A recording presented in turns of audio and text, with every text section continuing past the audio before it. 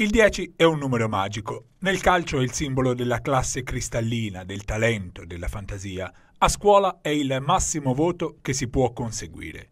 Tra qualche giorno, il 10 sarà anche il nuovo numero di RTV38.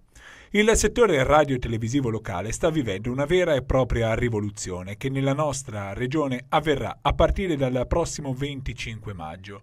Una rivoluzione resasi necessaria per consentire lo sviluppo delle nuove tecnologie della telefonia mobile, il 5G, che ha portato lo Stato a riorganizzare completamente l'intero comparto. Il Ministero dello Sviluppo Economico ha così stilato una graduatoria che ha preso in considerazione una lunga serie di parametri per assegnare la nuova numerazione.